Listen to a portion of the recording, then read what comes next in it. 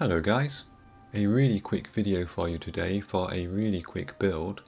This is Bandai's Super Star Destroyer from the Star Wars universe. Like all of these smaller Bandai kits, the instructions are inside the lid. In this particular case they are a bit difficult to read and sometimes the orientation can be hard to work out, but luckily all of the parts are keyed so you can't get them in the wrong way. Inside the box we have two white sprues and one black sprue. The white sprues contain the parts for the actual Super Star Destroyer itself, while the black sprue is simply the stand. If you haven't seen a Bandai kit before, then I think you'll be very impressed by the level of detail that they managed to get on these. This kind of minute detail without any extra parts being added seems to be something that Bandai really specialise in. And just to be clear, this kit is a snap together kit as well, there's no glue required. And genuinely of all the Bandai kits that I've built, um, I haven't ever required glue on any of them, I don't think. The tolerances are really, really nice. They're perfectly tight and the parts hold together very well. So I'll let you watch the build while I talk a little bit. Bandai don't say what scale this kit is, but we can work it out. Now this kit is 19 centimeters long, while the real, for want of a better word, Super Star Destroyer is 19 kilometers long. 19 kilometers is 1.9 million centimeters. So if we divide that 1.9 million centimeters by the 19 centimeters of the kit, that gives us 100,000. So this kit is a 1 to 100,000 scale kit. Or in other words, every millimeter on this kit represents 100 meters on the actual Star Destroyer. I don't think this kit is available in Europe. Bandai have the um, Star Wars license for Asia, which is where I bought this. I know that in Europe, Revell tend to release the Star Wars models, although they're not um, they're not the same as the uh, Bandai things. They're not just a rebadged um, Bandai kit. They are different. Sometimes Revell do strange things as well. So all of the Bandai figures, for example, are one uh, 12th scale whereas for some reason Revell have just released the Mandalorian figures in Europe at 1 to 9 scale, which is a little bit odd. However, it is quite hard and very expensive to get hold of these Bandai kits now I'm in Europe. The only slight difficulty I had with this construction was this top piece here, where the instructions weren't 100% clear about the order that these pieces need to go in. And you do have to be a bit careful because if you snap one of these Bandai pieces into place, it's very hard to get them back out again.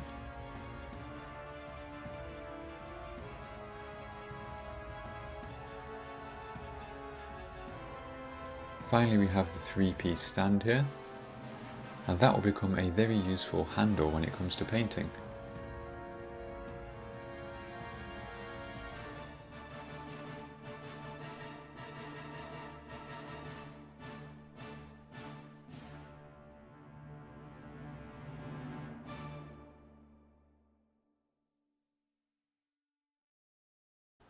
So my first step for painting was to give the entire ship a coat of black.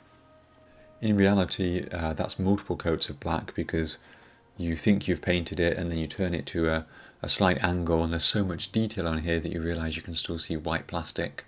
So this is after the first coat, so you, you may well see some white plastic here.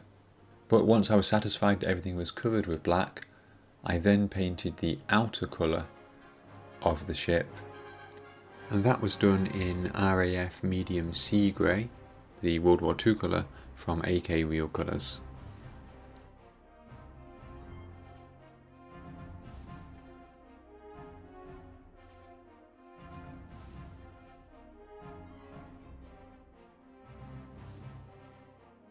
Once that paint on the outer area was dry, it was masked off and the inner area where all the detail was painted in a slightly bluer grey colour.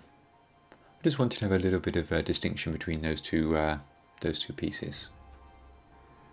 That colour was mixed by adding a tiny drop of blue to the medium sea grey and a tiny amount of black.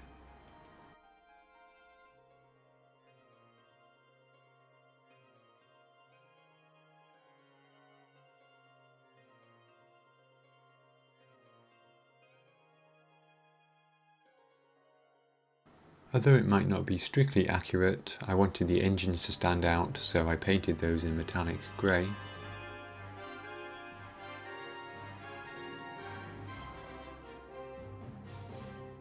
Although a traditional pin wash might not be fully appropriate for a model on this scale, I did have a go at trying to bring out some of these recesses. Now I'm very cautious of this Bandai plastic because it does not like enamel thinner. I know this from experience with my Y-Wing which I liberally coated in um, a uh, enamel thinned wash back when I made it a few years ago and it has slowly crumbled on my shelf since then. So this wash is some Vallejo model colour acrylic thinned with water.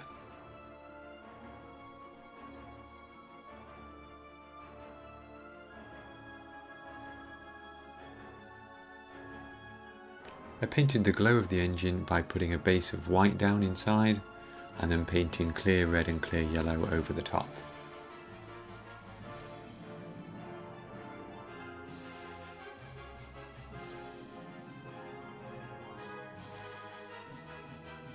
We can see on some images of the Super Star Destroyers, although I think these are fan fiction images, um, sort of different colour panels and so on. I didn't really want to do that because that panel detail is not on the model itself, but instead what I chose to do is some dry brushing over the raised areas. The, uh, the built-up area in the centre was quite easy to do that with because obviously there's quite a lot of detail there. It was a little bit harder to do it on the flat areas where there is detail, but it's absolutely minute.